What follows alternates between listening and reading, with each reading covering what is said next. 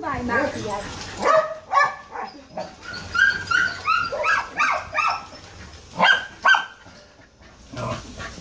Nee, nee, niet zo mopperen.